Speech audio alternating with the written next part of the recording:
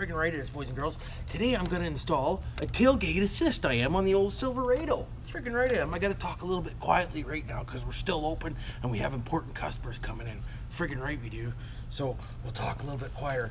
But don't forget, if you want to get yourself a tailgate assist, come on down and see Go Glass and Accessories. And sorry, we'll fix you right up. Friggin' right we will.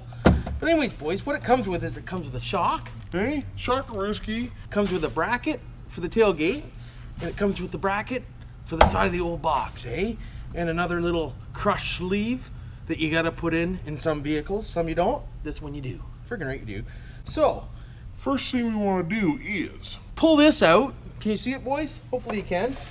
So you're gonna need yourself one of them. friggin' right here. So we'll stick that in there and we'll loosen this off, boys.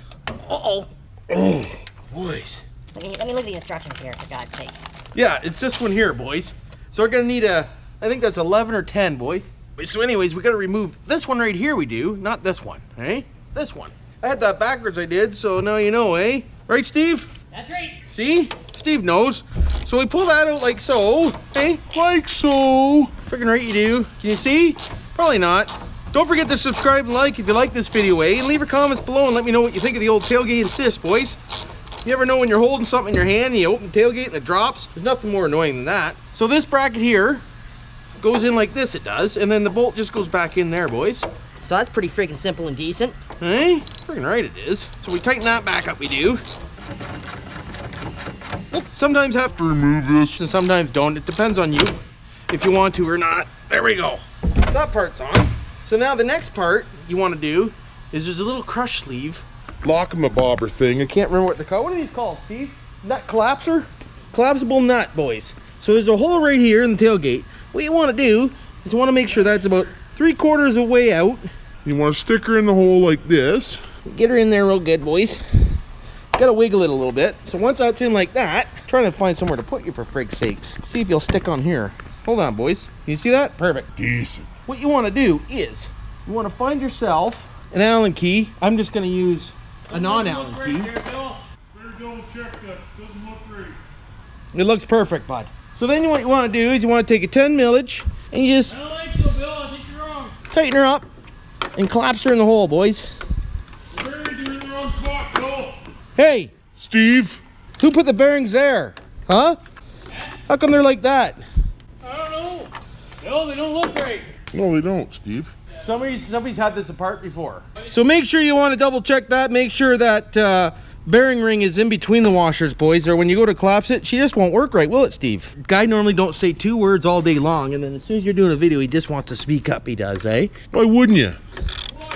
So there. Now, oh, that's better. So you just keep turning this you do until it's all the way in, boys.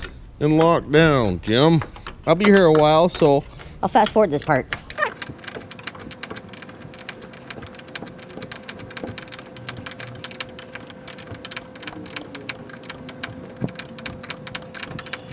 Important people here, boys.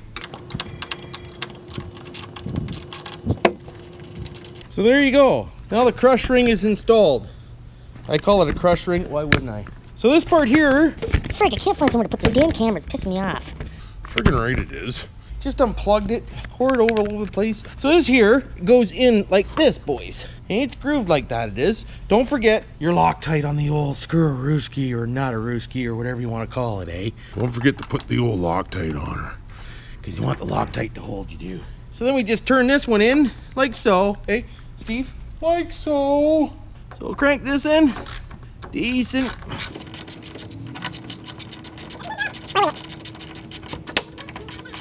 So snug that up pretty good. Make sure it's nice and tight because you don't want it to come off, boys. There we go. So now that's mounted. So now all we got left to do is put the old Shakaruski on. So she basically just Here, you watching? snaps in there like that. You pull her down and you snap her in like this, boys.